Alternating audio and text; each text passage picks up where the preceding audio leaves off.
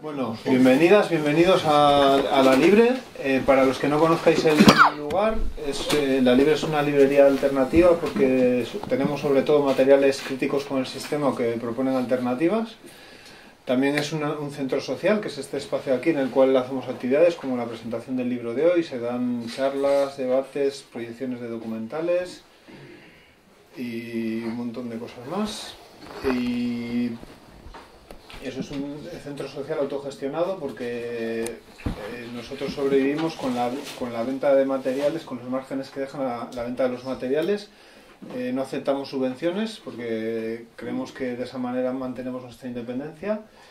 Y, bueno, y aparte para mantener el, el proyecto no solo contamos con, con los márgenes de los materiales, sino que también somos librería asociativa de manera que cualquier persona que crea importante o necesario que este espacio siga en Santander, pues, pues ofrecemos la figura de socio para que, para que apoye con una pequeña cuota anual.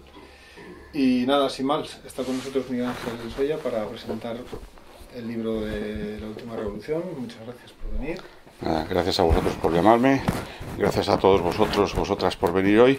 Y hoy vamos a presentar un libro sobre un tema muy concreto que está en un espacio cronológico muy, muy específico y que como gran parte de la historia de Cantabria del siglo XX está olvidada. El tema concreto es la Revolución de Octubre de 1934, que fue el mayor desafío que tuvo la República hasta que mm, dos años después pues empezó la guerra civil y que en el caso de Cantabria siempre se ha minusvalorado el, el papel que tuvo Cantabria eh, en ese periodo, olvidándose que es uno de los lugares donde más incidencia tuvo la huelga y demostrando que Cantabria no solo, solo había gente de derechas o donde los partidos de derechas eran hegemónicos o totalitarios, sino que también existía una fuerte implantación de partidos de izquierda, sobre todo del Partido Socialista, eh, la Federación Obrera Montañesa, lo que sería la UGT, y la Federación Socialista Montañesa, lo que sería el PSOE. La génesis del movimiento de octubre de 1934 tenemos que ir a las elecciones de noviembre de 1933. Hasta ese momento la Segunda República había estado gobernada por una coalición de, partidos de izquierda burguesa, más conocido dirigente sería Azaña, y el Partido Socialista. Esa coalición se va rompiendo en el verano de ese año por diferencias ideológicas y doctrinales y también personales, y eso lleva a una ruptura de la coalición y a la convocatoria de elecciones en noviembre de 1933. Eh, en esas elecciones eh, los partidos de, republicanos y socialistas se presentan desunidos, presentan candidaturas separadas y en cambio la derecha conservadora se ha generado una nueva organización política que se llama la CEDA que mm, sorprendentemente gana las elecciones. Es el partido que más votos tiene y que más escaños consigue y junto a él el Partido Radical. Eso genera un nuevo eh, clima político y un, viraje ideológico en la dirección de la República. se llega a una, serie de contactos entre partidos políticos y al final se consigue que el Partido Radical de Lerroux, que de radical ya tenía poco, gobierne apoyado por la CEDA. La CEDA se plantea en un primer momento apoyar al gobierno desde fuera para que vaya rectificando la legislación y todas las reformas que había hecho el gobierno de Azaña y, eh, apoyará una serie sucesiva de gobiernos del Partido Radical. En una segunda fase intentará, eh, tenía previsto entrar en el gobierno y en una tercera fase ya presidiría el gobierno y cambiaría la República hacia un sistema semicorporativo, semiautoritario, muy parecido a lo que fue después el Portugal de Salazar. Entonces, eh, eh, eh, en el otro lado del espectro político, la izquierda, esa derrota le genera una gran frustración y decepción. Y sobre todo en el Partido Socialista, en amplias capas del Partido Socialista, se empieza a abrir la idea de que la República era un régimen transitorio y que lo que realmente habría que hacer era mm, avanzar hacia un Estado socialista muy, cuyos límites estaban muy poco definidos. Y también llega otra idea, y es decir, que no van a permitir que la CEDA entre en el gobierno de ninguna de las maneras. Y en el momento que entre, pues habrá que adoptar algún tipo de medidas. Entonces, a partir de noviembre, justo casi después de las elecciones, se empiezan a, generar una serie de trabajos en la sombra para eh, articular un movimiento que, en el caso de que la CEDA acceda al gobierno, aunque sea en coalición con los republicanos radicales, eh, las masas obreras se levanten, declaren una huelga general, una huelga general revolucionaria, un movimiento contra la República, no lo tienen muy definido, y eso mm, se va articulando durante el invierno del 33 y, y durante el año 34. En el verano del 34, la CEDA decide que los gobiernos radicales no están llevando la política que ellos consideran conveniente, que son muy tibios, y deciden que hay que pasar a la acción. Entonces eh, imponen eh, que si quiere seguir gobernando, hay que hacerlo en coalición y que tienen que entrar en el gobierno. Eh, entonces hay una serie de contactos políticos y, a principios de octubre eh, el hecho se hace realidad, a pesar de las resistencias que hay por parte del presidente de la República y de las propias presiones socialistas, sobre todo del entorno de Largo Caballero, al final se cede y se forma un gobierno de coalición donde la CEDA va a tener tres ministerios. Ese hecho provoca que dispara las alarmas y la dirección socialista decide que es el momento de pasar a la acción. Todos los trabajos que se han realizado hay que pasar a la acción. Entonces, en coalición con otras fuerzas, sobre todo los comunistas y en algunos lugares los anarquistas, el, 5 de octubre decretan la huelga general. Huelga general que tiene un éxito desigual en toda en España, aproximadamente son 23 provincias donde se produce algún tipo de hecho relacionado con este movimiento que ya conocemos que sobre todo es en Asturias, donde más eh, fuerza llega a tener el movimiento, que durante 15 días los mineros asturianos llegaron a controlar el Principado y que fue necesaria que ya la llegada de las tropas regulares y de, la Legión, comandadas por el general Franco, que era entonces el asesor del Estado Mayor. Bueno, en otros lugares de España, como también es conocido el caso de Cataluña, donde se declara la República Catalana dentro de la República Federal Española, una entelequia bastante rara, que acaba rápidamente con dos bombazos que pega el, gobernador militar de la, época allí en Barcelona, el general Batet, y después sabemos que hay ciertos lugares de España, como en Albacete, en las partes nortes de, en la parte norte de Palencia, en la zona de Guardo o Arruelo, y en algunos lugares del País Vasco, sobre todo en Eibar. Y ahí es donde más incidencia tiene la huelga. Pero en el caso de Cantabria, incluso ha habido gente que ha llegado a negar que en Cantabria existiera algún tipo de movimiento relacionado con la huelga general de octubre. Y lo cierto es que lo hay.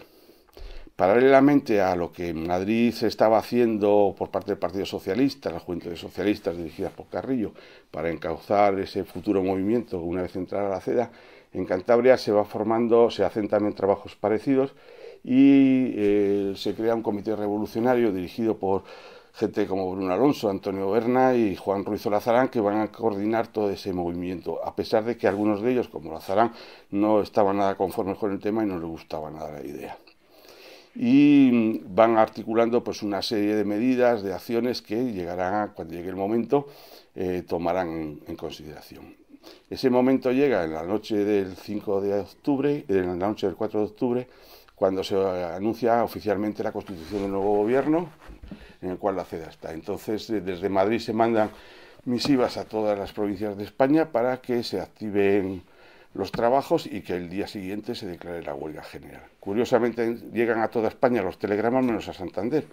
Santander tienen que ir a buscarlos a Bilbao, en Bilbao les dan el telegrama, vienen para Santander y declaran la huelga. ¿Quiénes son los que en Cantabria apoyan el movimiento revolucionario? Tradicionalmente se dice que Cantabria es una región ultraconservadora, donde el dominio de las opciones católicas, conservadoras, monárquicas y similares es aplastante. Es cierto, en parte. Es verdad que en el conjunto provincial sí tienen un dominio bastante acusado, pero no es menos cierto que Cantabria existen enclaves muy importantes donde la izquierda santanderina, fundamentalmente el socialismo, es dominante. En las grandes ciudades como Santander, Torlavega o las villas de la costa eran el partido dominante junto con la izquierda republicana y el naciente el Partido Comunista que todavía tiene un papel secundario que después, durante la guerra, ya adquirirá un papel muy importante. Entonces, la huelga tiene una relación directa con la existencia de las organizaciones socialistas, sobre todo obreras, dentro de la FON. Entonces, la huelga en Cantabria va a estar circunscrita a esos lugares, es decir, las villas de la costa, eh, Campó, Corrales, Torlavega y, y, todos aquellos lugares donde haya industrias, comercios, fábricas o minas, que son aquellos lugares donde existen secciones socialista, sobre todo, ya os digo, de la Federación Obrera Montañesa. El desarrollo de la huelga en Cantabria, que dura aproximadamente unos 10-11 días, es muy similar. Una vez que llegan las claves para eh, el levantamiento obrero, eh, lo que se declara la huelga general y en todas las grandes ciudades eh, que estoy comentando, de los grandes núcleos de población, lo que se hace es una paralización absoluta de la vida ciudadana, es decir, eh, consiguen paralizar lo que es el comercio, la industria, etcétera. Mm, pero tienen un problema y es que mm, ellos lo que intentan es no solo paralizar, sino ocupar los centros de poder. Ellos tenían planes previstos, en el caso de Santander, pues de ocupar el gobierno civil, el cuartel del Alta, eh, los cuarteles de carabineros y similares, ¿no? y ante eso van a fracasar, primero porque no tienen armamento y segundo porque van a encontrarse con la oposición del ejército, sobre todo del ejército, la Guardia Civil, que no están nada de acuerdo sus jefes con a secundar un movimiento de ese tipo. Y sobre todo van a contar también con la oposición de los partidos de derechas y conservadores que van a van a ver cómo afluyen muchos voluntarios para ocupar los puestos que están dejando los obreros y ellos eh, mantener los servicios básicos. ¿no? Y entre ellos aparece un partido que hasta entonces era desconocido, muy minoritario, que toma un gran protagonismo que es la Falange. La Falange, como estaba compuesta por gente muy joven eh, y tenían una organización semimilitar, consiguen ser, acaparar gran parte de, de, ese voluntariado y, encontrar un eco entre las clases conservadoras santanderinas que piensan que ese partido puede tener cierto futuro para defender sus intereses. Entonces, por ejemplo, en el caso de Santander, la huelga dura 10 días aproximadamente. Eh, durante el día se producen enfrentamientos y que se reproducen durante la noche. Son frecuentes los disparos, los atentados con bomba, eh, los petardos, las refrigas con la Guardia Civil, con la policía, con la Guardia de Asalto. Eh, el ejército se ha desplegado por la ciudad y a los pocos días decreta el estado de guerra, con lo cual durante el día la situación la controlan ya, decir, la ciudad va adquiriendo un poquitín, poco a poco, la vida normal pero por la noche se recrudecen el, el tema. Y esto es un poco el esquema que va a seguir en Torlavega, que es donde otro de los focos fundamentales, va a seguir en los corrales, donde los enfrentamientos son muy duros, llegándose incluso a rodear el cuartel de la Guardia Civil, matando a un guardia civil, eh, va a ser sobre todo, y sobre todo en Reynosa. La zona de campo es donde mm, seguramente haya una mayor incidencia de la huelga. Campo era una zona muy industrial en aquella época, eh, ahora sabemos pues, conocemos que hay una fábrica que se llama Sidenor, que tiene problemas, pero en aquel tiempo eh, esa fábrica era la naval. La naval era la suministradora de armamento para el ejército español de artillería, tanto de, de barco naval como de terrestre. Y en esa fábrica, que era muy importante, había un gran núcleo socialista, que se complementa con otros núcleos socialistas en pueblos cercanos, en la zona del pantano del Ebro, que entonces estaba construyendo el pantano. Ahí hay una gran masa de obreros, muchos de ellos afiliados al Partido Socialista, y ahí en Reynosa la huelga tiene una dureza extrema, son, hay tres, o, tres muertos, me parece que es exactamente, e incluso se tiene que llamar a fuerzas del ejército de Burgos para sofocarla. La huelga va languideciendo poco a poco y a partir del día 15, 16 ya la gente va a ir entrando poco a poco al trabajo y recuperando cierta normalidad más interesante quizá que lo que es la huelga en sí, que es interesante conocerla porque ya os digo, es, es un reflejo de lo que es la Santander de la época y donde se va a ver que las fuerzas que están en favor de la revolución y los que están en contra van a reproducir casi miméticamente lo que va a pasar en julio del 36 es conocer las consecuencias. La huelga de octubre trajo consecuencias muy graves para el conjunto de España y también para Cantabria. Produjo una radicalización de las posturas políticas y fue generando una serie de, odios y enfrentamientos que, que, fueron, estaban larvados, pero que en julio del 36 salieron eh, y fue cuando se produjo la guerra civil y hay raíces de la guerra civil que se pueden ver ahí, sobre todo en la zona de Reynosa, que luego comentaremos alguna cosilla de ella. ¿no? Entonces, eh, cuando acaba la huelga, en Cantabria la huelga se salda con 15 muertos, el total nacional fue, me parece que fueron 1.500, 1.200 casi fueron en Asturias, eh, hubo casi 1.000 detenidos, entre ellos para ello se habilitó un barco que después tendrá un triste nombre, que el Alfonso Pérez, que se llenó con gente de izquierdas primero y dos años después se llenará con gente de derechas. Eh, hubo una gran cantidad de armas incautadas y sobre todo lo que hubo fue después un recorte de derechos fundamentales de los ciudadanos. Las clases conservadoras aprovecharon la huelga para hacer una especie de contrarrevolución. Los obreros que habían participado en la huelga fueron fulminantemente despedidos, los que afortunadamente para ellos tuvieron trabajo, vieron cómo sus contratos de trabajo, sus remuneraciones y sus derechos les fueron gran parte arrebatados eh, por una patronal que aprovechó la represión para ello. Aparece una represión muy importante, es decir, hay muchos condenados por los sucesos de octubre, apenas muy fuertes. Aquí en Cantabria no llegó a haber condenas de muerte, pero fueron habituales condenas de 10 años de cárcel por desacato a la autoridad, por, insultar a un, guardia civil, por cualquier cosa de esas, incluso penas de destierro por el simple hecho de llevar octavillas durante la huelga. Y eso genera una población que os digo, cerca de mil personas pasaron por la cárcel también se genera eh, una situación bastante dura en el tema de que mucha gente se quedó sin trabajo, con lo cual hubo que apelar a la solidaridad de los obreros que entonces tenían trabajo para dar de comer a, familias en paro. ¿no? Por ejemplo, es muy típico en Santander, el, diario de la región hizo una colecta para ayudar a esa gente y también otra colecta para que los obreros mm, que pudieran acogieran en su casa a niños de padres que se habían quedado sin trabajo y estaban en mala situación, estaban en la cárcel.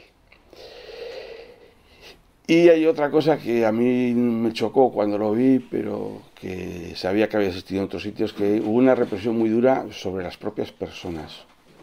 Eh, sabemos que en Asturias los malos tratos eh, fueron habituales, incluso se llegó a matar gente, e incluso un periodista que se llamaba Luis de Sirval por denunciar ese hecho fue asesinado por fuerzas paramilitares y aquí en Cantabria se conserva un documento de la zona de Reynosa donde un grupo de personas que estuvieron encarceladas fueron describiendo los hechos que les sucedieron durante la cárcel. Y entonces algunos de ellos se reproducen en el libro y son hechos escalofriantes, las torturas, las vejaciones que se llegaron a hacer sobre ellos. Incluso hay un caso de una simulación de un fusilamiento a un grupo de personas. Todo eso genera dentro de la izquierda dos debates. Uno, hemos perdido una revolución, sabemos que asaltar el poder conquistar el poder mediante una revolución es imposible mientras las fuerzas del ejército y las del orden público estén a favor del poder constituido y, entonces se empieza a generar entre la gente de izquierda, sobre todo en el Partido Socialista, entre Bruno Alonso, y Juan Ruiz Lazarán o Antonio Ramos sobre todo, la idea de que la época de las revoluciones ha acabado y que si queremos volver al poder, la única manera que existe es la vía democrática, la vía de las elecciones. Y entonces se va generando entre toda la izquierda esa idea, ¿no? Aunque en el Partido Socialista hay gente como Largo Caballero que dice que no, que lo que hay que hacer es profundizar todavía más en el tema revolucionario y va radicalizando su discurso. ¿no? Es la época en la que va siendo conocido como el Lenin español. cambio en Cantabria y, y mucha parte del PSOE se va haciendo lo contrario, es decir, vamos a intentar coaligarnos con las fuerzas de izquierdas para que en unas futuras elecciones podamos ir todos juntos de la mano y conquistar el poder. Y eso se hace sobre dos banderas, dos pilares fundamentales. Uno es eh, los presos de octubre tienen que salir a la cárcel, es decir, si ganamos unas elecciones cuando las haya, esos presos tienen que salir. Y dos, aquellas personas que hayan perdido su trabajo por culpa de la huelga tienen que ser readmitidos. Hay una serie de contactos políticos que se producen sobre todo cuando la coalición del Partido Republicano Radical y la CEDA rompen en el verano del 35, que es el momento en que también las organizaciones obreras que han sido clausuradas todas empiezan un poco a reabrirse primero de forma clandestina y después ya posteriormente les deja. Entonces, esos contactos políticos, en el caso de Cantabria, en el caso de España, eh, se aceleran cuando se decide, vista la situación política y la imposibilidad de formar gobiernos en España estables, de eh, convocar elecciones para febrero del 36. Entonces, sobre todo a partir de diciembre, que es cuando se convocan ya, eh, hay una serie de contactos a nivel nacional, fundamentalmente en España, en España, a través de Azaña y Prieto, que son un poco los que van a coordinar todo el movimiento, y en Cantabria ah, se hace un, tiene una línea paralela. Y en Cantabria en el 37 se llega finalmente a una coalición que se llama la Federación, eh, la Federación, no, espera, se llama Coalición Montañesa de Izquierdas Frente Popular, algo así. Ahí estarían el Partido Socialista, todos los partidos republicanos de izquierda, es decir, la Hazaña, Izquierda Republicana, Unión Republicana, el Partido Federal y el Partido Comunista. Y tienen el apoyo de la Federación Obrera Montañesa y de la CNT. Cuando se convocan las elecciones en febrero del 36 a nivel nacional sabemos que por un estrecho margen gana el Frente Popular y aquí en Cantabria mm, no ganan porque todavía la fuerza de la derecha, sobre todo proveniente del campo y del catolicismo agrario, es muy fuerte, pero consiguen tener el mejor resultado de la historia, que es cerca del cuarenta y tantos por ciento de los votos. Eso genera eh, a nivel nacional la formación del Frente Popular y se cumplen las dos primeras promesas efectivamente, se decreta una amnistía para los presos, lo cual supone la salida de muchos presos de la cárcel. La cárcel que estaba aquí enfrente, no sé si habéis, una vez habéis oído hablar de ella, aquí donde está la audiencia, había una, una, una, una prisión, la prisión de Santa María Egipciaca, que se reproduce en algunas fotos, que estaba en un estado deplorable, porque ya en julio del 36, desgraciadamente, se inaugura la, nueva cárcel, que también estaba aquí en la calle Alta, y desgraciadamente su estreno es con presos de, la época de la guerra ya. Entonces los presos salen a la cárcel y los que habían perdido su trabajo por el tema de la huelga tienen que ser readmitidos. ¿Qué lecciones eh, se sacan de la Revolución de Octubre? Pues, por ejemplo, en el caso de Cantabria se sacó la, la idea de que pues eso, que la revolución o el asalto al poder era muy difícil o imposible en un estado donde eh, las fuerzas del ejército y el orden público estaban en contra de ello y que la vía democrática se tenía que acceder. Y sobre todo las lecciones que aprendió muy bien la izquierda fue cuando llega la hora de la sublevación de julio del 36 y tienen que oponerse a ella eh, Juan Ruiz Lazarán, que es un poco el dirigente que en ese momento toma el mando de todo el movimiento antisublevatorio, eh, tiene muy en cuenta lo que ha pasado. Él ha dirigido una revolución, él estuvo exiliado por esa revolución, estuvo en Normandía, en la ciudad de Rennes, y decide actuar casi como un militar. Entonces, si os fijáis un poco lo que pasó en Santander entre el 18 y el 25 de julio, la idea de Lazarán era muy fácil, es dividir, contar con el apoyo de parte del ejército, que lo consigue en Santoña, eh, dividir a las fuerzas de orden público, consigue la adhesión de la Guardia de Asalto y los carabineros, eh, y neutraliza a la Guardia Civil, que toma una actitud pasiva, y sobre todo sabe que tienen que ir todos unidos a luchar contra ese movimiento involucionista. Y eso es un poco la dinámica que sigue del 18 al 25 de julio y es la que le permite después triunfar y, que permitir a Cantabria que durante 13 meses estuviera en el bando republicano de la guerra civil hasta que en agosto del 37 las tropas de Franco deciden que ha llegado la hora de conquistar Santander, sobre todo para Franco decían que era más importante tomar Reynosa para coger la fábrica de Reynosa, que, que lo que era la provincia, y se acaba la experiencia republicana en Cantabria.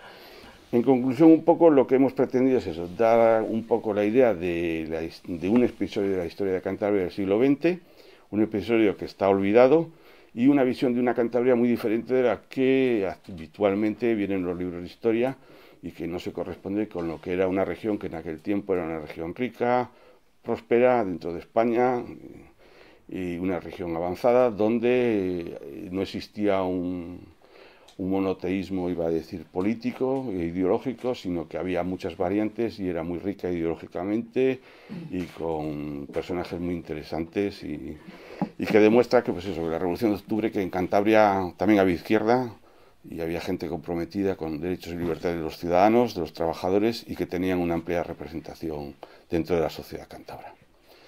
Y no os quiero aburrir más, si queréis alguna pregunta me lo comentáis. ¿Vale? Sí, hola, yo quería preguntarte lo que has dicho antes de, la simulación de fusionamiento, si puedes explicar un poquitín más el tema. sí, el tema es, mira, en febrero, eh, cuando el Frente Popular gana las elecciones, aquí en Cantabria el, Frente Popular de Santander decide que todos aquellos que hayan sufrido torturas o vejaciones durante la Revolución de Octubre, que lo denuncien, ¿no?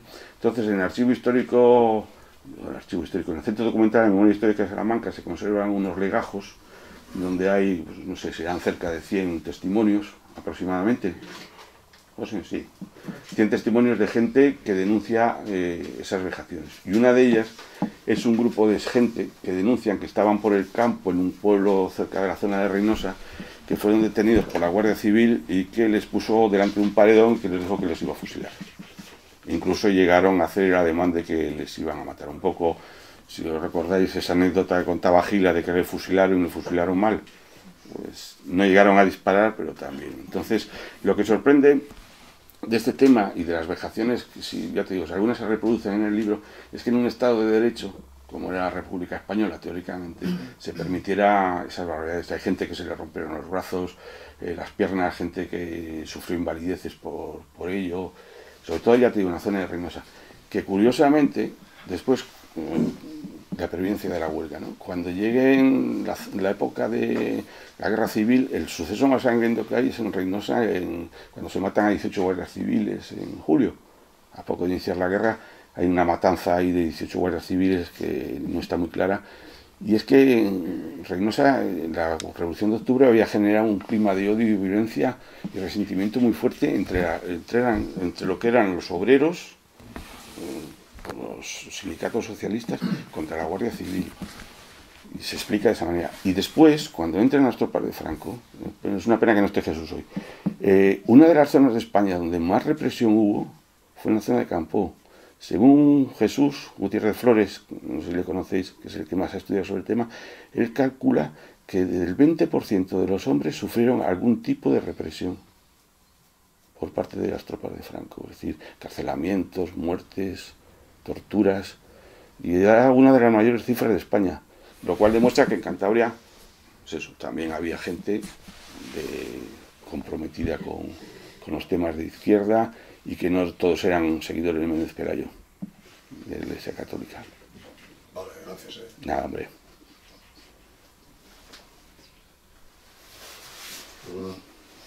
¿podrías eh, insistir un poco, que lo habrás manifestado, un poco los motivos de, digamos, en el poner la revolución del 34, ¿no? pero se planteó como una huelga, como una revolución. O sea, los motivos por qué se planteó y desde qué mm, ideología, ¿no? ¿Quiénes eran los que abanderaban un poquitín? Un poco. La huelga de octubre del 34 es la respuesta que se da desde mm, gran parte de la izquierda a lo que ellos consideraban una traición a su república. Es decir, ellos consideraban que aquellas reformas que se habían hecho durante el bien hazañista, es decir, por ejemplo, la reforma territorial, la separación de la Iglesia y del Estado, la reforma militar y sobre todo las reformas que beneficiaban a los trabajadores, la ley de cultivos, la reforma agraria, las bases de trabajo que mm, habían aumentado el nivel de salarios, todo eso la derecha se lo iba a cargar y, lo que iba a hacer era un viaje ideológico y iba a constituir lo que en aquel tiempo pensaban que podía ser, tú fíjate que en aquel momento, en el año 34, Hitler había llegado al poder, en Portugal había un gobierno autoritario corporativista, eh, en Francia estaban en una guerra civil, medio larvada, eh, Mussolini estaba en, en Italia ya gobernando también desde aquel momento, en Austria había un Estado eh, social, cristiano, autoritario, el Dolfus, y ellos temían que en España les pasara algo parecido. Entonces, eh, eso radicaliza las posturas, sobre todo Largo Caballero. Largo Caballero es una persona que cuando abandona el cargo de ministro de Trabajo, eh, dice, me marcho más o menos, no lo llega a decir con esas palabras, ¿no? Porque no, se, no da más de sí esto. esto. Es decir, yo no puedo cambiar de más cosas, no me dejáis, esto ya no me va.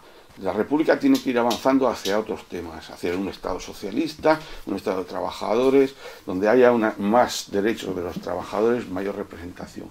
Y ellos temen, y seguramente con razón, que la CEDA, si algún día llegaba al poder, aunque fuera de coalición, se lo iba a cargar.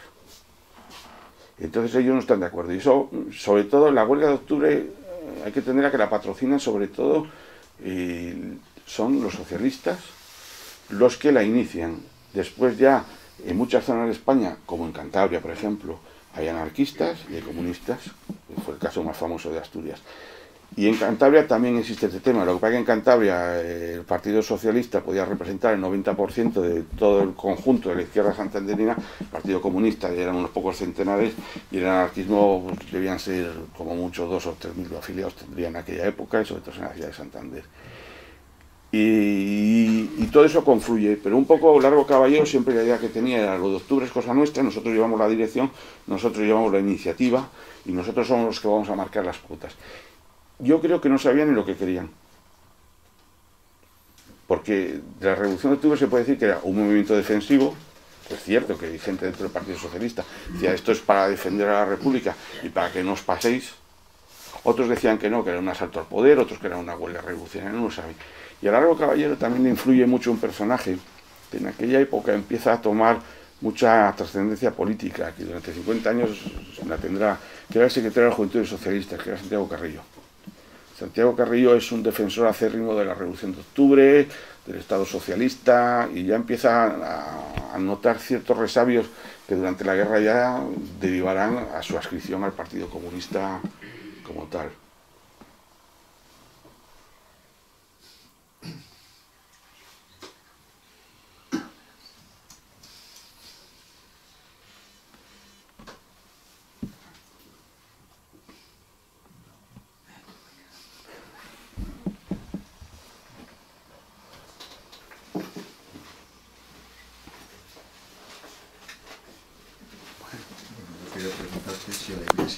En algún momento en la Revolución de Octubre.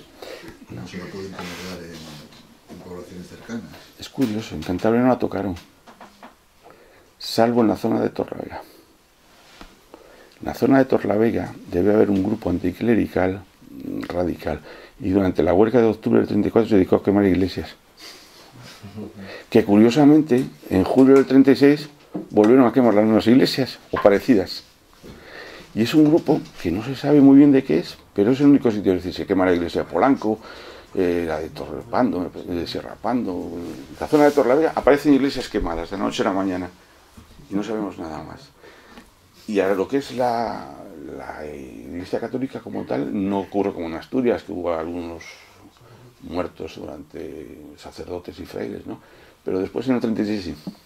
36 ya sabes que me parece que son 150 y tantos muertos entre la Iglesia Católica, aunque mira, al obispo le protegieron. No sé si sabéis, la historia del obispo de Guino. Yo sí, pero cuéntala.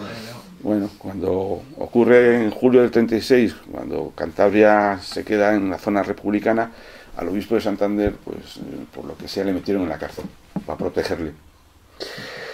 Y teóricamente según, hubo presiones por parte de Indalecio Preto y, alguien más para que no, no, le hicieran nada.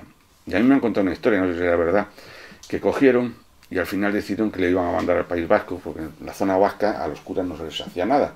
y de la zona vasca se iba a ir a Francia. Este era Guino y Treco, el, obispo Budari que le llamaban, ¿no?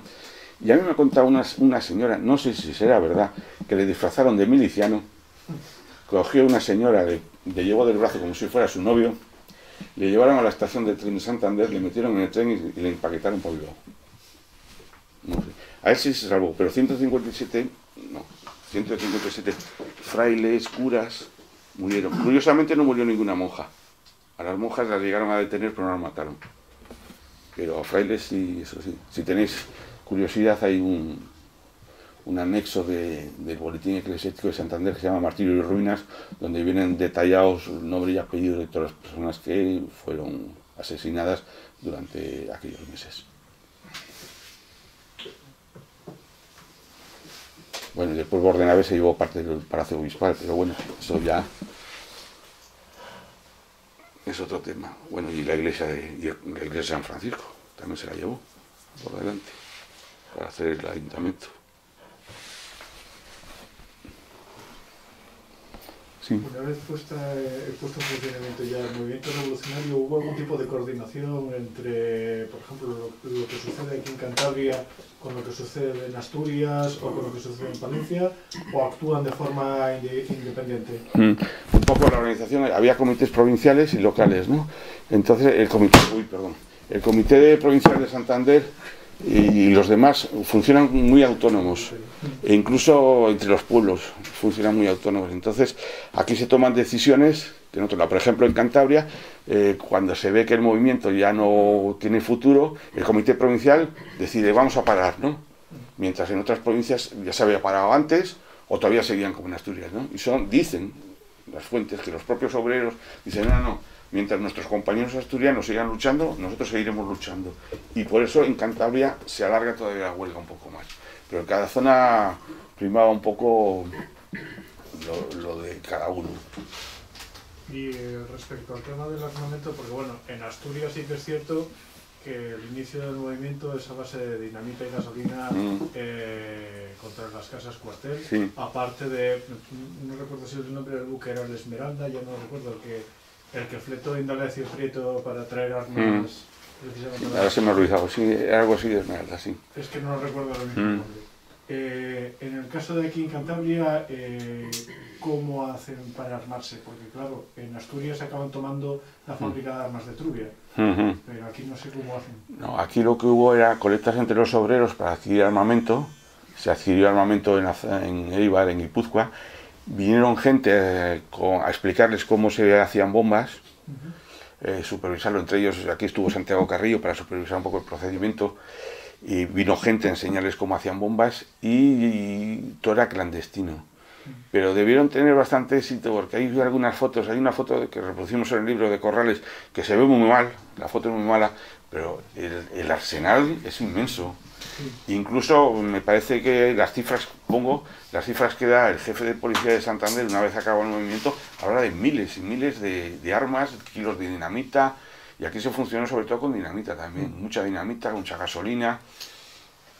Y debió ser bastante porque cuando llega julio del 36, una de las primeras medidas que toman, Olazarán y toda esta gente, es desenterrar todas las, todo lo que había. Y con eso forman las primeras milicias, que son las que rodean el cuartel de, del Alta, que estaba en el Alta, y son las que arman. Y debían tener bastante todavía en reserva. Ya te digo, es que el problema de muchas veces de estos temas es que no tienes las fuentes precisas que te digan, oye, ¿cuánto armamento había? ¿Cuánta gente estuvo en Santander en estos grupos de terrorismo callejero? Pero debían ser bastantes porque ya te digo, las cifras que vienen aquí hablan de, yo creo que hasta de fusiles, de miles de fusiles incautados. Yo he entendido antes que no falleció ninguna religiosa aquí durante la guerra. Yo tengo noticias aquí. Vamos a ver, yo de represión es que no me suena. No.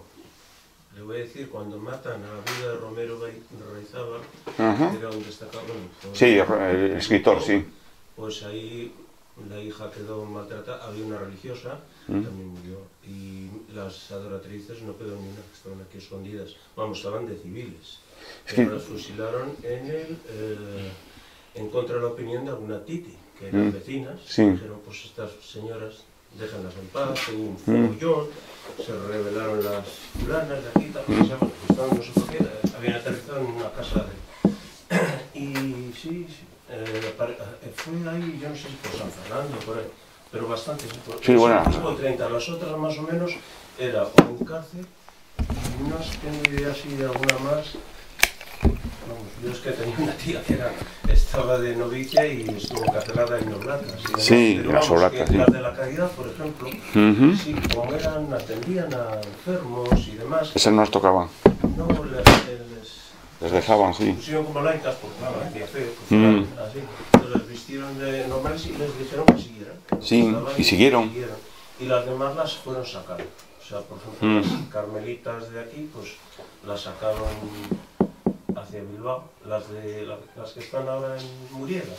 Ujú. O sea, que de alguna manera, digamos, los propios revolucionarios más sensatos querían evitar que haya problemas y salvarlas, Ujú. digamos, en el verano. Luego ya, pues, estaban como escondidos. Sí, bueno, sí, estuvieron escondidos. Parte de ellos mandaron para Bilbao. Sí, No, hubo mucha gente que fue para Bilbao. O sea, el convento quedó Sí, eso sí, hay fotos de. alucinante. Sí. Las bajaron al tren, pero sí, eh, pero la gente ya lo sabía. Mm. Como se les notaba por el pelo. Es que no se podían esconder. Sí, lo que le pasaba a los curas.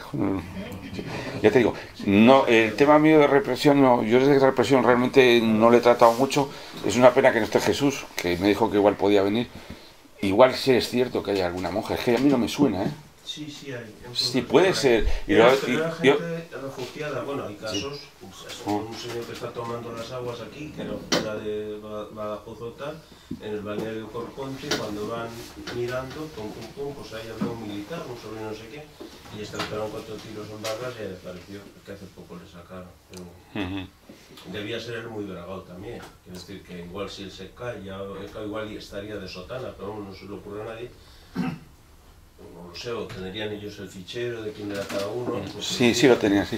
Y sí que hubo una selección del balneario de Corconte y ahí sí es que no es muy famoso, un capitán de No, el que, el que tuvo en Corconte era el hijo de Sanjurjo. Eso, El capitán sí, Justo Sanjurjo. A este le sacaron y fue. Sí, le, le fusilaron, sí. Aquí en Santander las de la Caridad siguieron pues atendiendo al hospital o sí. lo que estaban. A mí me suena algún seminarista, ahora que empiezo a recordar, que también, que estaba aquí en los cursos que daba el Colegio Cántabro, algún seminarista de fuera de Santander, que después ha sido beato, Que sí, alguno. Pero ya te digo, las monjas igual, sí, ahora que has dicho las oratrices, se empieza a encender alguna bombilla. Más, más, digamos, más que no, no podían tampoco, no tenían aquí familia, porque el que tenía familia se iba a su casa o, o se quedaba en la cárcel y estaban tutelados. Digamos, aunque estabas en la cárcel, pero tenías tus elementos de frente popular que te daban alimentos y demás. Sí, Pero claro, la gente más descolocada pues como pues, siempre. no podía hacer nada.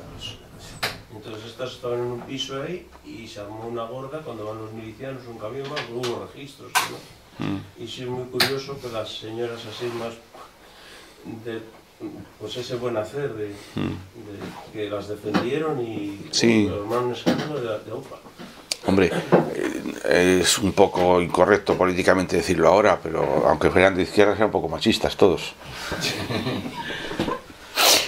Eh, Es decir, que el papel político de la mujer en la Cantabria del siglo XX, hasta la guerra civil o hasta ahora, es muy limitado, ¿no? Es decir, eh, a veces mm, tú ves ahora pues, el libro que ha publicado Aviadero de Mujeres de la Guerra Civil y dices, bueno, representación política en la Guerra Civil, ¿quién tuvo hasta la Guerra Civil? Matilde Zapata, eh, Matilde de la Torre, que no estuvo aquí durante la guerra, y pocas más. Y es cierto que durante la guerra en los comités locales de muchos partidos políticos aparecen muchas mujeres. Entre otras cosas porque crean lo que no existía hasta entonces, que era el secretariado femenino. Y lógicamente ponían a una mujer. Pero sí van tomando algo, algo, no mucho, ¿eh? De, de preponderancia. Y por eso a las monjas sí, a las monjas las trataban de otra manera y le hicieron esa especie de secularización diciendo no tenemos mm, enfermeras, os vais a quedar a cuidarnos y punto pelota. Pero así todo, aunque hubiera algún caso, no fue como con lo, el personal eclesiástico, porque me parece que las cifras eran uno de cada siete frailes o curas que hubo en Cantabria murieron asesinados. Es el grupo más... Fueron 156, creo. Sí, yo, 156. yo creo que era la séptima parte. Y hay zonas, entre ellas donde yo nací, que eran muy católicos, y son muy católicos, y muy de derechas, pero que de los nueve pueblos creo que mataron, te hablo de memoria, siete o ocho curas murieron asesinados. ¿Qué, qué zona es usted? Yo de Cayón, De bueno, no soy, nací. Sí, sí. En general, las monjas se las respetó mucho en toda España. ¿eh? Sí, Lo que pasa es que luego los casos que hubo, claro, el franquismo los, los elevó. los ensalzó mucho. Así como curas y frailes mataron un montón, eh, monjas muy pocas. Eh, Pero a los casos que había algún convento que hubo por la zona de, Aragón o por ahí, eso enseguida se, se elevó a. El franquismo lo elevó a la, enésima potencia. Y, hubo mucha propaganda sobre el tema. Me parece que había un convento por la zona de Aragón, lleva- murieron un montón de monjas, todas ellas.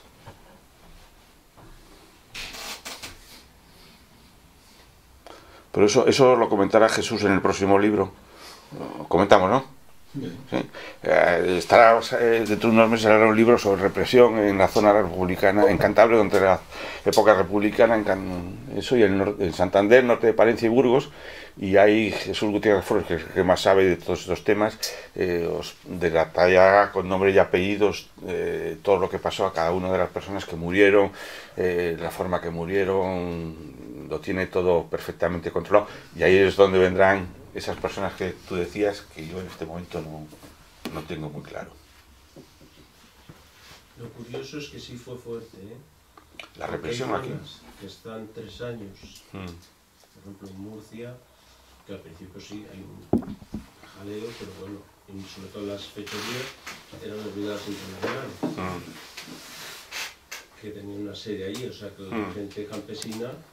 Estaba la base allí en Almansa, sí. y procuraron Mm. y entonces es curioso que aquí es mayor casi que en Valencia. que- o sea, es Lo que pasa es que aquí- fuerte, ¿eh? Aquí- viene de lo que dice, del Mm. 34. Aquí hay un hecho, dos hechos fundamentales. Uno, durante la época, los 13 meses que hubo en Cantabria, estuvo en la zona republicana, hubo mucho particularismo y mucha delegación de poder, había muchos centros de poder.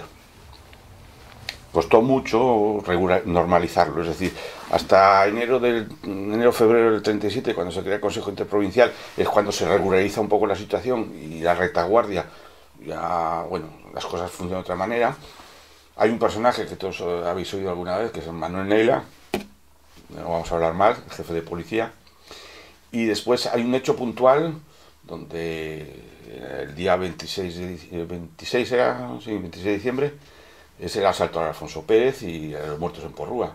Y ese día, el asalto a la cárcel y, el asalto a la comisaría de, la Guardia de Asalto. Y en ese día, entre Pinto y Valdemoro, son más de 200 personas de un total de mil... ¿Mil cien era? A Enrique le salía 1312 de represión republicana y a, y a Gutiérrez Flores le deben de salir 2500 en época franquista. Mm. Sí, más o 2500 menos. Entre todos. Entre máquinas, todas. todo.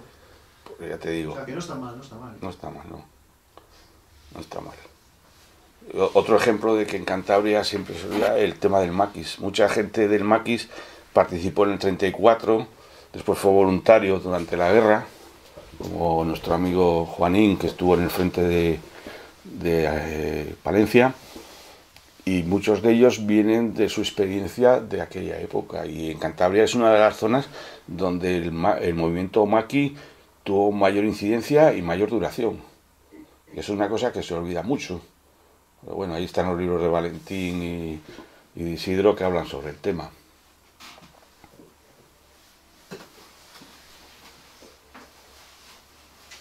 González Calleja sacado ahora internet y vuelve sobre el tema de la, de la violencia política en Mm, los meses previos a la guerra civil y vuelve otra vez a salir el Cantabria entre las provincias, regiones de entonces que más, eh, que más violencia política sufrió.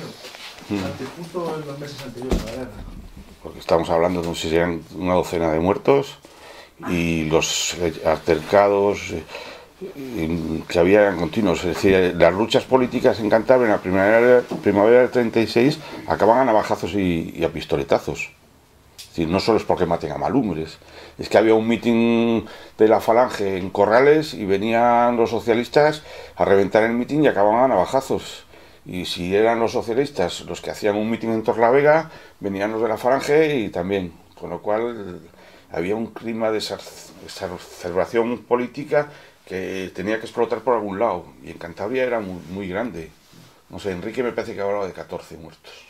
Sí, es que le salen, Enrique y, y el trabajo anterior, este, este pequeño librillo. Ah, el de Carmen de Almarzal y... Sí. sí. Salen unos 22, 23 muertos, pero evidentemente no son todos de violencia política y creo que les salían sobre 17, 18 de Mm. violencia política, más o menos. Demostrado, ¿no? Que Sí, sí. había sido cuestión política. Mm. Y de todo. No era muy alta. Canta. Cantabria tiene una región conflictiva. Pero tienes la zona de Reynosa, el área de los corrales.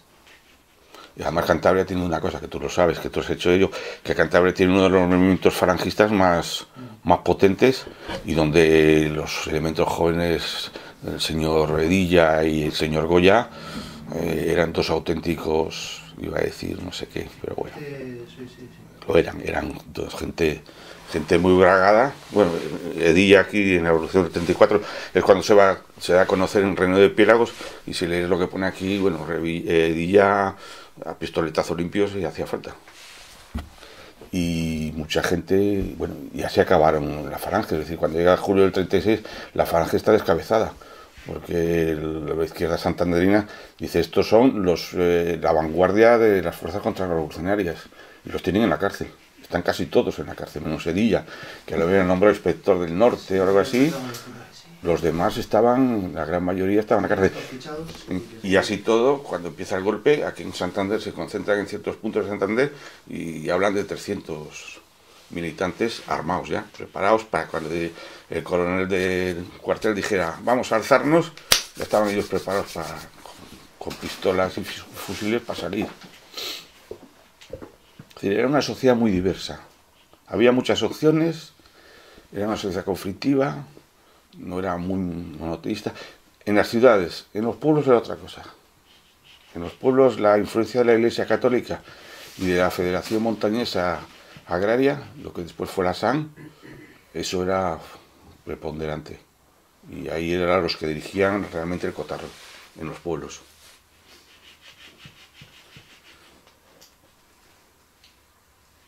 De todas formas, como balance político, las élites políticas se manejan muy bien los peones. Estaban jugando con fuego. Mm. No mm, pudo ser un error táctico, realmente la CEDA también fue imprudente, imprudente total, una parafernalia casi fascista, que es normal, Ujú. cogieron miedo y entonces se unieron de alguna manera, pero de cara al ejército, es la rebelión, junto a López Ochoa, que era todo era masón, Hmm. estuvo en Asturias. Sí, Y ese bueno cayó en Madrid porque estaba de apendicitis le sacaron y le fueron dos tiros. y, y le cortaron la cabeza, ya sabes que la sacaron por Madrid con unas picas. Pero vamos, que el propio Batet, que era una persona Mm. republicana, que luego fue fusilada por, eh, por los franquistas en, en Burgos, En Burgos. Y es el. Yo, por ejemplo, lo de Companys es que no me entra en la cabeza. Personas como los catalanes. Companys estaba muy influido por los hermanos de Encas. Había un grupo dentro de lo que era la izquierda republicana que se llamaba el Estado catalán. Y esos lo que querían era la República Independiente Catalana Totrisca.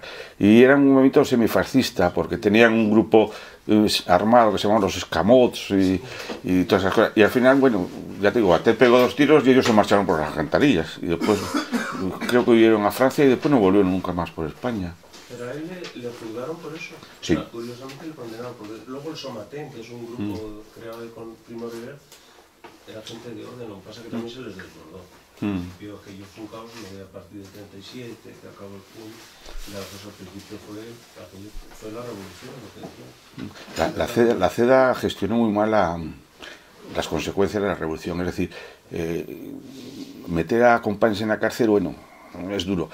Suspendieron la, eh, la autonomía, ¿no? ahora que se está hablando del artículo 155 de la Constitución, y, y intentaron sobre todo meter a Azaña en la cárcel. Porque estaba en Barcelona en la boda de un amigo y le quisieron encausar y se les volvió contra ellos. Fueron muy torpes. Y curiosamente, pues, el 34, la derecha, cuando pierde las elecciones del 36, piensa al contrario que la izquierda, ¿no? Es decir, hemos perdido las elecciones, esto de la democracia no nos gusta, no nos vale, hay que asaltar el poder. Y es cuando se, se empieza a urdir esa eh, sublevación entre militares africanistas, cedistas, parte de la CEDA, los alfonsinos, que desembocan en julio del 36 en, en ese golpe fracasado que después da lugar a la guerra civil.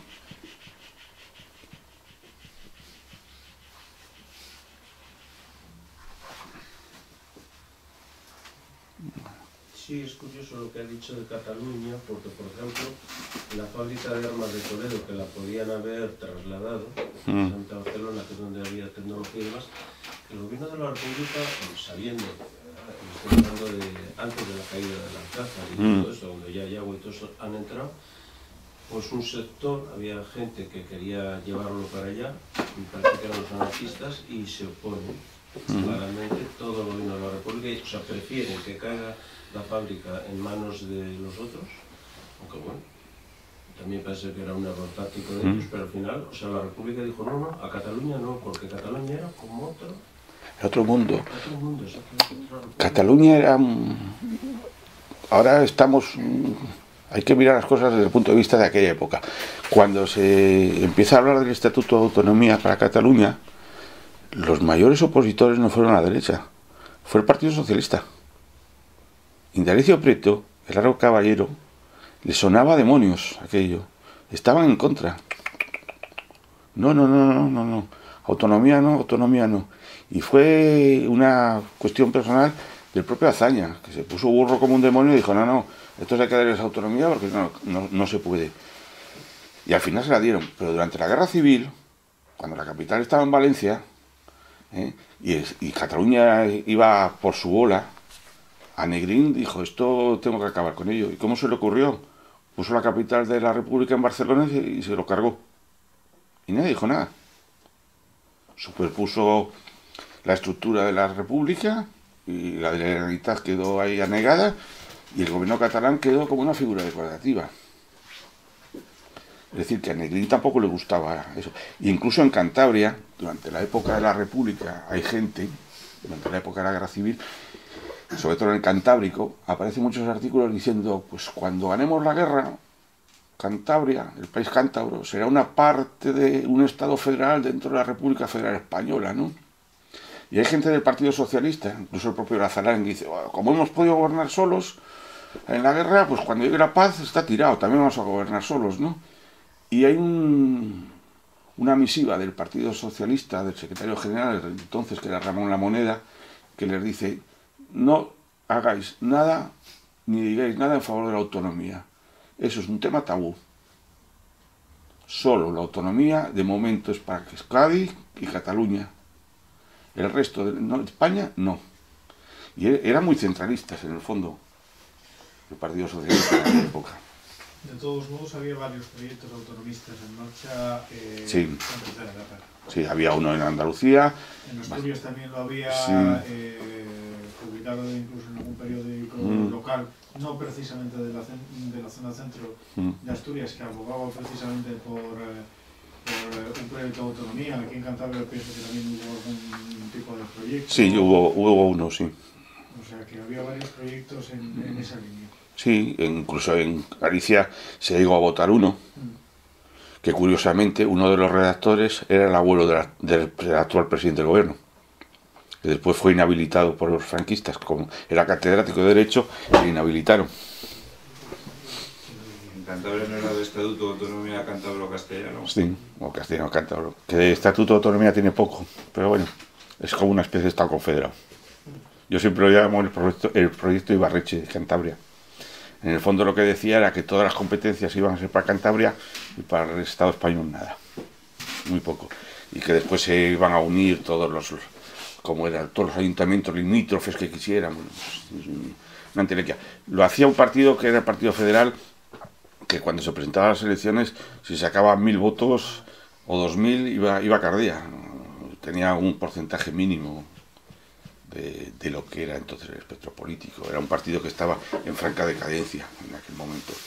Pero durante la guerra sí, e incluso hay gente, pues como el doctor López Albo, que cuando se inaugura la Escuela de Medicina de, de Santander en Valdecilla, que, se, es el, que se concibe como universidad en aquel tiempo, dice que bueno, que este es uno de los, las bases del futuro estatuto de autonomía del país cántabro. Pero las cosas fueron por otro lado y ya te digo, el Partido Socialista a nivel nacional no, no estaba por la labor. Decir, yo creo que el Partido Socialista estaba por la labor de decir, bueno, ya que se abrió la espita, eh, Cataluña, vale, el País Vasco se lo dieron por Indalecio Prieto, por cuestiones políticas, para que se mm, alinearan con la República durante la guerra. Y Galicia, que lo había aprobado, y dice, hasta ahí hemos llegado, y no, no, no estaban, eran muy, muy centralistas en aquel momento.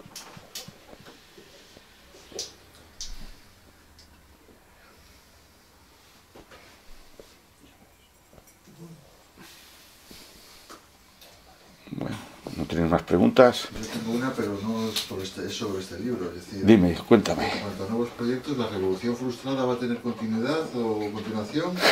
O, o sea, eh, o- Bueno, la sublevación frustrada. La, la revolución frustrada, la, el, el, el libro sobre el lanzamiento, sobre no la, Hombre, la idea es algún día ampliarle. habrá, habrá Algún día. continuación. El problema es que los derechos de autor me parece que los tiene la universidad hasta el año 21.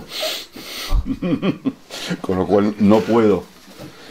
Lo podría poner con otro nombre, pero bueno. Mm, sí, la idea es algún día hacerlo, sobre todo porque tengo muchos documental, documentos gráficos que no estaban en aquel momento y han ido apareciendo otra serie de documentación, de testimonios, sobre todo en los pueblos, lo que pasó mucho en los pueblos, porque Fernando Obregón, no está, no sé si le conocéis, que ha publicado muchos libros sobre la historia, eh, ha hecho una recopilación de documentación y de testimonios orales impresionante. Entonces, eh, a los libros de Fernando y ahí mm, día a día, pueblo a pueblo, lo que pasó y hay mucha fuente, pero ya te digo, la universidad hasta el 21 no. Ahora vamos a ir por otras vías.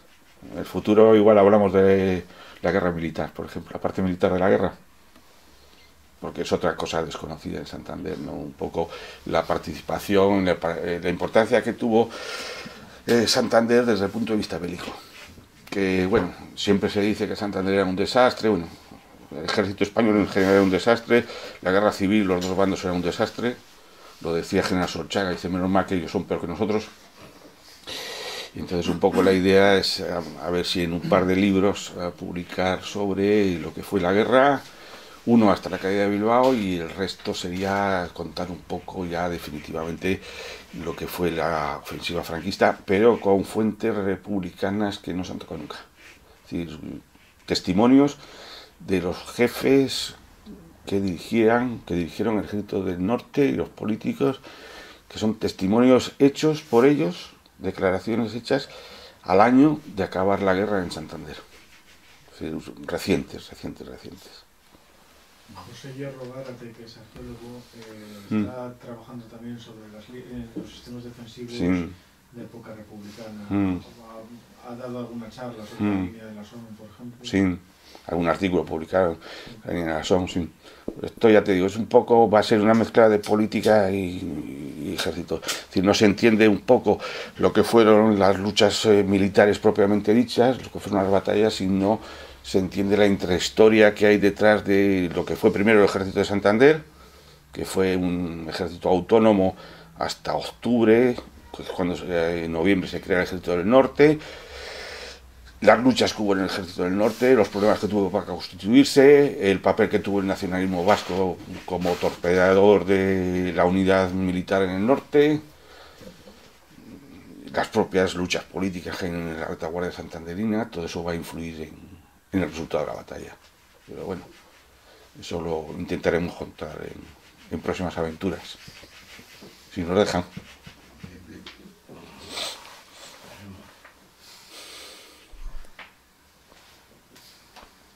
Bueno. Pues si no hay más preguntas, levantamos el acta. Nada, a vosotros por llamarme.